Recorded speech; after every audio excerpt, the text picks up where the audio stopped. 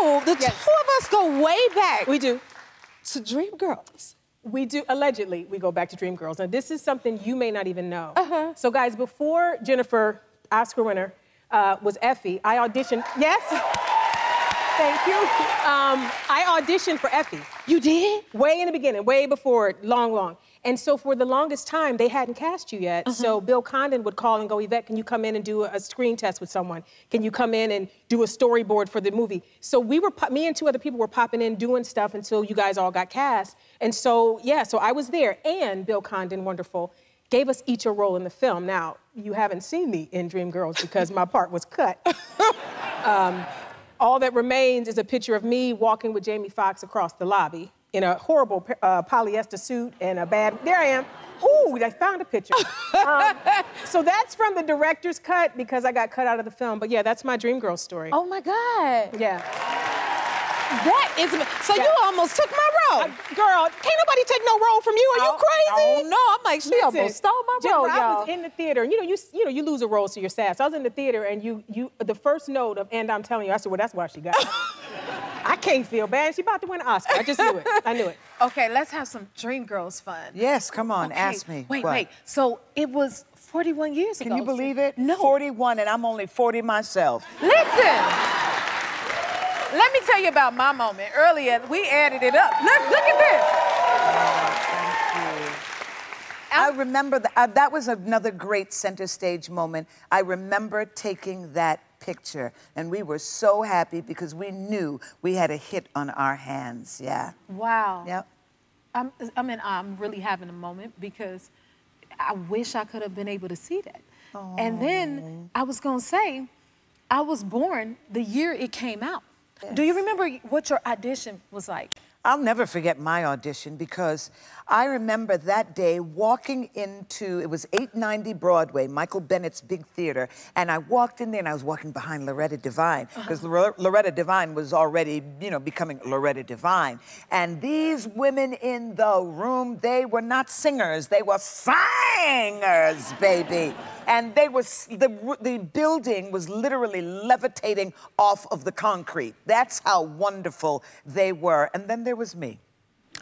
And um, everybody was doing their whole thing, and they asked me to sing. And they said, just, you know, sing something from church.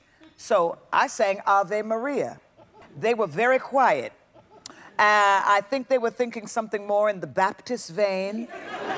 And they did not know that I was a little Episcopalian girl.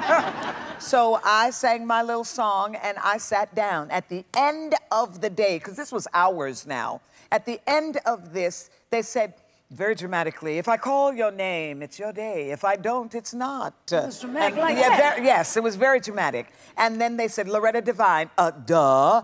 Um, Ramona Brooks, and, and I'm getting ready to leave. And Sheryl Lee Ralph. When we did Dreamgirls, baby, our work was step, touch, step, touch. You want a song? Come on! Oh, you want me to come too? Oh, Lord. I don't know if I can keep up. Yeah, you can. We, we need some Dream Girl magic. You got oh. yours? Oh! I can't believe I get to do this. Girl, now this is not any cheap boa, so you know I'm keeping it. Yes, ma'am, you better. So, are we tossing it around the neck? I'm following your lead. You the original Dream Girl, baby, Now, not me. all you have to remember Okay. when you when you move, and you know this, Yes, ma'am. it's like Bevel? you want them, thank you, and you want them to see that you're wonderful, that you love being here on stage. Come on, will make now make it sway, Oh, oh, oh. Yes, ma'am. And you look at them, look up. That's right. Come on, sing, baby. Always care. Am I doing Now wait, here we go. Look up, look down. Dream girl, will never leave you. Come on. I know you got to And guess what? I'll be there. Oh, she's here, y'all.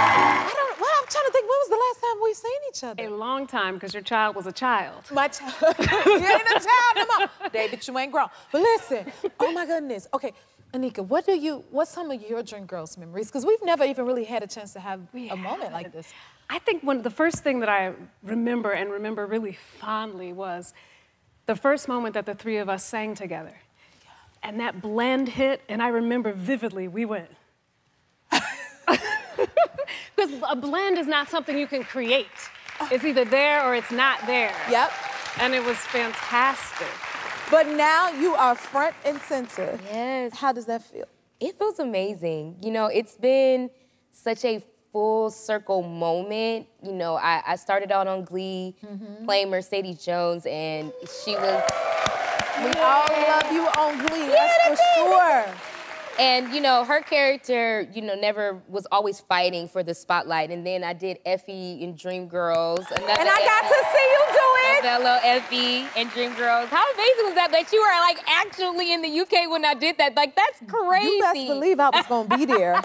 oh, I made a point. I said I got to go see Amber do this, and it was amazing. Thank you. Beautiful. So beautiful you job. know, playing Effie, and you know that that I know. I'm sure that you became very close to that character. Like I became very close to that character and really knew her, and having her story be like this, um, you know, gift, and not being able to be out in the front. Right. And I felt that, and so I feel like.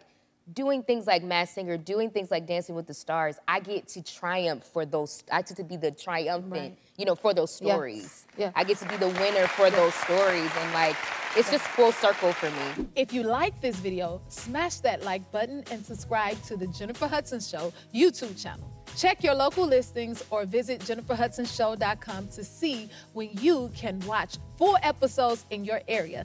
And don't forget to sign up for the newsletter.